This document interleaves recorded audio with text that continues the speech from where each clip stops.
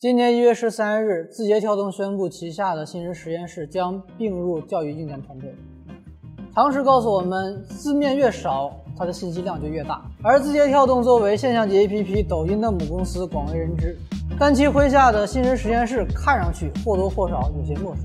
那咱们长话短说，老罗把手机业务及其坚果品牌卖给字节跳动，连带着原来的手机团队一并被字节跳动收编为一个叫做新石实验室的部门，负责坚果手机的软硬件研发。如今这个部门又被并入字节跳动的教育硬件团队，且不再推出坚果品牌的手机产品。表面看上去，老罗视如己出的坚果手机落得如此收尾。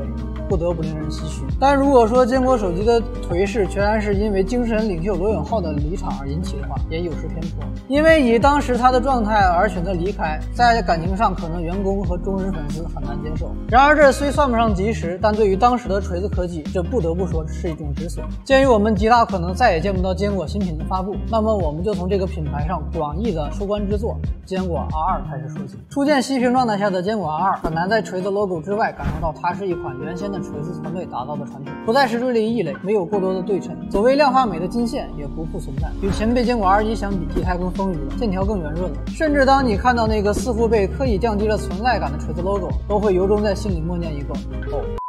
但当点亮屏幕的一瞬间，就像周星驰在《少林足球》里说的那句台词：“我感觉到。”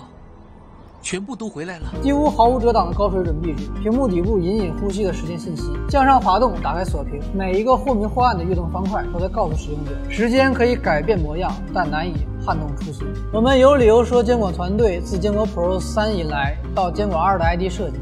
全行的天平渐渐趋向妥协。市场喜欢打孔全面屏，行；用户觉得曲面屏好看，整；一亿像素摄像头牛逼，安排。即使锤科的粉丝们再不愿意看到，这也都是客观事实。只是，就像坚果 R 是市面上少有的四边等宽的手机，也几乎无人提及一样。无论是硬件或者软件上，坚果团队从来都是在大众很难注意到的地方发挥自己过剩的设计才华。以一个旁观者的角度来看，如果当初的锤子科技不做像手机这样的大众消费品，而只在一些小众圈子里为用户默默服务的话，可能也不会有过去几年的动荡和易手，甚至再多的质疑和嘲讽也会被淹没在赞美声当中。所以，当我们以大众消费者的眼光去审视坚果 R 的外观时，嗯，还不错。但跟别人也没什么不一样。是的，从 Smartisan T1 开始，每一代锤子科技出品的手机都能让人一眼就认出来，它们就是深深烙着这个公司基因的产品。最具代表性的锤子 logo 几乎出现在每一代产品背部的黄金分割点。而当我们拿起坚果 R 时，除了在圆形的边框按键和缩在背面一角的红色 logo 上还能找到一丝锤味，其他的部分任你再有情怀，似乎也很难找到爷青回的那种感觉。事到如今，再翻看 Smartisan OS 的界面和交互，几乎都有老罗的文化。遗产大爆炸，一部闪电胶囊和 TNT。甚至多年过去，联播 UI 也仅有细节方面的变化，依旧是风格强烈的拟物化图标，无法在桌面任何位置下滑呼出通知栏，无法在横屏状态下通过上滑手势回到主界面等等。前面提到的过剩的设计能力被大量运用在诸如可模拟光照倒影的桌面图标、自带音乐 App 可模拟唱片老化音，甚至打碟等很难注意到或者不经人提醒你几乎永远不可能知道的那些特性。当然，坚果团队的传统异能仍然没丢。曾经生动的软硬件结合范例，闪电胶囊迎来了升级版的时间胶囊。针对特定人群的好用与否，自不多说。单究其优先级，便不亚于闪电胶囊。被单独设置了一枚实体拨片式按键，在屏幕左侧边框，开启之后会收集用户在手机上一段时间内的几乎所有与图文影音有关的行为。关闭时则能按照时间顺序自动生成该段时间内容的闪电胶囊供用户取用。不得不承认，这个升级版的闪电胶囊狠狠地击中了经常开会和上课的人群。因为如果你经历一场长时间的会议或讲座时，之后的资料整理可以说是灾难级。时间胶囊则大大提高了整理的效率，不可谓不贴心。不过像一部和大爆炸一样，时间胶囊仍然需要，甚至需要更高的学习成本。那么如此细分人群的功能落到大众消费品上，可能引起的就是一片高呼鸡肋的趋势。因为毕竟绝大多数消费者的日常都是打电话、聊微信、玩游戏、刷抖音、看视频等自带记录功能或者根本无需记录的行为。退回到手机的技术体验，从前的锤子和现在的坚果像是有着相同的无奈。姗姗来迟的八六五，移动一百二十赫兹甚至幺四四赫兹屏幕夹击下的九十赫兹屏幕，已经算不上快的五十五瓦快充，已经及格但仍不出彩的相机等等，虽不能说泯然众人，但与 T 一发布时的适才傲物已然相去甚远。在如今竞品时不时图榜的参数、价格和实体店渠道缺失的前提下，监管二手中的牌看起来在线上线下都不太能打。线上用户只看参数和媒体带的节奏，以该机的各项硬件参数而言，完全讨不到便宜。实体店更是因为赚不到钱，早早的在几年前全线收摊，而导致线下渠道几乎为零。首发价格更是一众友商直呼内行。现在提起坚果手机，我们能回溯到最多的还是锤子科技。而说到锤子科技，就不得不提罗永浩和那曾经被群嘲的“情怀”二字。如今直播带货还债的他，似乎活得更通透了。在坚果 Pro 3的发布会之前，甚至还在微博上毫不留情地缺德了一番。那是他一手打造的手机业务易主之后发布的第一款产品。诚然，这款手机的各方面表现没有如何亮眼，但老罗如此干脆地将新人实验室进行切割。吃瓜群众在例行吃瓜之余，更嗅出了一丝心酸。毕竟以老罗的审美和近乎吹毛求疵的性格，由他操刀的坚果系列，从话题度和销量都小有成就的坚果 U1，到发布会时他一度哽咽，销量更拯救垂克于水火之中的坚果 Pro，再到被 TNT 喧宾夺主的坚果 R1。即便在审美上这些机型算不上鹤立鸡群，但相较于坚果 Pro 3，我个人看来还是有很大优势。当年的锤子科技也曾经标榜美是第一优先级，所以坚果 Pro 3不够美，可能是老罗释放本性下场吐槽的。最重要原因之一。纵观锤子科技的历史，最令人动容和扼腕的，当属 Smart C N T One 和 TNT。想要了解锤子科技和罗永浩，也不得不提到这两款产品。前者是国产手机中首次获得 IF 金奖的智能手机产品，并且是一个初创公司发布的第一款产品。虽然在市场反馈中暴露出许多问题，但仍然意义非凡。后者或许是老罗无端膨胀后的野心，也或许是他的背水一战。然而无论如何，事实证明，足够超前的理想也需要足够强大的能力来支撑。二零一四年五月二十日，SmartCity T1 发布时，beta 版的 SmartCity OS 已经更新数版，时间一年有余。在此期间，老罗已经通过一己之力，在社交媒体、辛辣点评各手机厂商不断搞事引战，气吞天下的豪气一时吸粉无数，也为当时这款本就备受期待的新机拉满了期待值。发布会上渲染图释出时，社交媒体上尚显平静，褒奖和质疑的声音也都相对冷静。而当价格公布的瞬间，唱衰声像炸了锅一样排山倒海而来，后续的产能爬坡受阻，加上身为 CEO 的老罗与某媒体主理人直播辩论的不理智行为，给这款产品带来了巨大的负面影响。从而导致发布不到半年便不得不降价一千元。正所谓福不双至，祸不单行。即便当时 T1 获得了工业设计界的最高荣誉之一的 IF 金奖，也没有让老罗有所收敛，继续在社交媒体上与路人疯狂对线，最终使得 T1 仅以二十五万台的销量草草结束了生命周期。如果 T1 的销量还足以支撑锤子科技走下去的信心，那么 TNT 的发布和其之后的不了了之，则可以称得上是真正的滑铁卢。二零一八年五月十五日，锤子科技在北京鸟巢体育馆。召开了规模盛大的发布会。由于老罗故技重施般的在发布会前极大的拔高了大众的预期，以至于在坚果 R1 的部分结束之后，现场的掌声和欢呼声中也能听出一些尴尬。而当老罗端出 DNT 这道硬菜，并进行多次理解万岁的演示之后，媒体知道，市场知道。我猜连锤科的高管也能预料得到，TNT 顺利破盖。尽管他给出的人机交互模式足够新颖且前期打磨的话，或许经过一年两年甚至更快，会有获得市场认可的那一天。但我们知道，能在那样一个时间点发布 TNT 的锤子科技，最缺的就是时间。另外一方面，自杀式的价格也相当于宣布了 TNT 升空即陨落的命运。就像视频开场提到的那样，罗永浩的离场对当时的锤子科技来说。很大程度上是一种止损，因为在 T1 发布前后，他明明可以不做那些会造成负面影响的事；即便在尚未成熟的 TNT 发布之前，他也可以不选择无限拉高大众的预期，但他仍然义无反顾地做了。不知道究竟是他当时在公司内部权力太大，没有人能阻止他，还是所有高管跟着自嗨，对他进行了放养，而这带来的结果不出意外的恶评如潮。在那之后，老罗也慢慢走向舆论场的边缘，开始收敛起来。或许老罗一如他本人在社交媒体上曾经宣称的那样，内心过于强大，强大到既无视了太多的问题，也没能完成心中的野望。而易主之后的监管团队，即使背靠字节跳动这棵大树，在供应链上也很难有话语权，对产品的最终结果也无法更好的掌控。以结果来看，市场从来不会说谎，对老罗一样，对谁也都一样。我们当然希望锤子科技有一天能够重返战场，只是希望别再是这副孤胆英雄的模样。说到这里，为了给锤子科技这样一个体面或者曾经体面的公司梳理一下那些曾经辉煌或令人寻味的产品，我们一共收集了从 SmartSend T1 到坚果 Pro 2S 的所有主要机型，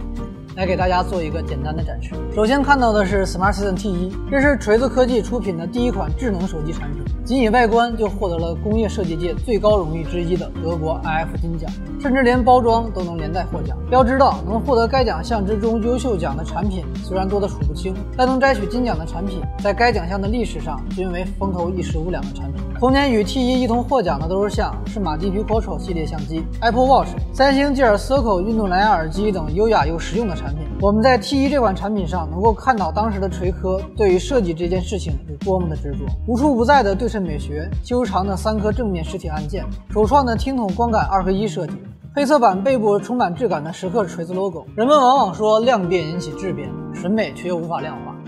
但 Smart Citizen T1 证实了卓越的外观也是可以由足够多的细节成就的。第二款是 Smart Citizen U1，这个名字对绝大多数人可能都很陌生，毕竟在发布会上宣称的名字叫坚果手机，就连微博识别的机型都是坚果手机四个大字。Smartisan U1 这个名字通常是和它的内部代号 YQ601 一起被人遗忘在工信部的数据库中。这款手机推出时，锤科刚刚历经完几轮舆论的洗礼，其中也包括往后每年都要历经的倒闭传闻。然而，事实是，当时的锤科的经营状况已经不允许再出现 T1 那样商业上的失败，且急需一款能够跑量的产品，所以 Smart Citizen U1 应运而生。多色可选的瓦楞纸设计贝壳，全塑料机身，正面则延续了 T1 优秀的设计，仅用三个触控小点代替了实体按键。在当时性能尚可的骁龙六幺五，漂亮的不像实力派的亲切宣传，以及八九九元的起售价，无不在向年轻人示好。当然，Smart Citizen U1 也不负众望。一改 T1 的销售颓势，生命周期内销量近百万部。虽然与主流竞品还有差距，但对锤子科技来说已经是一个不小的进步。公司经营状况也因这款产品渐渐步入正轨。然而，Smartson U1 的小小成功，也为接下来的 Smartson T2 上的傲慢与偏执埋下了隐患。老罗曾公开表示过，边框上的天线条和 SIM 卡托开口再美也是疤痕，干掉电源键。于是，当我们拿起 Smart Citizen T2 时，对无断点边框感到精致的同时，霎时间会有些茫然。电源键和 SIM 卡托在哪儿？就像在 T1 上为了不留下卡托开口而将后盖做成可拆卸来拆装 SIM 卡，就不能换电池一样，在 T2 身上，锤子科技更加激进地将 SIM 卡托做进了屏幕右侧边框的音量按键中，甚至保留了音量按键的功能，使之形成了一个二合一的设计。电源键功能更是集成在了正面三枚实体按键的中间，短按点亮屏幕，长按锁屏，长按五秒呼出关机重启界面。是否好用暂且不提，为了干掉一颗使用频率极高的电源键，从而让用户增加了如此分量的学习成本，这真的值得吗？另外，由于整机没有天线条外露，且边框又为金属材质，导致 T2 的信号表现十分糟糕，仅仅达到了工信部所要求的最低射频标准。在实际使用中，搜网和通话方面的缺陷，甚至可以与 iPhone XS Max 一较高下。不过有一说一，上述取舍也只是锤子科技做出了选择，本身并没有对或错。但作为一款大众消费品，在通信这样手机产品上最基础的体验上掉了链子，即便再美，消费者也很容易用脚投票来否定。就在消费者以傲慢与偏见回敬了老罗的傲慢与偏执之后，锤子科技在二零一六年十月十八日推出了 Smartisan M1 和 M1L。我们知道，以往锤子科技的产品在设计美学上可以称得上第一梯队，但在相机、SOC、续航上却一直为人诟病。Smartisan M1 和 M1L 在上述问题上则有了长足的进步。以 M1L 为例，不仅搭载了当时最强的骁龙821，，电池也来到了4080毫安时，加上24瓦的快充，甚至连屏幕都升级为 2K 分辨率，可谓是全方位的秀了一把肌肉。然而，因为外观方面，Home 键与当时的 iPhone 过于相似而引起了轩然大波，就连老罗在坚果 Pro 的发布会上也直言，M1 系列的外观是锤子科技设计史上的耻辱，由此又引发了一波吐槽的狂欢。更是因为此番言论伤害到了很多 M1 系列用户的心。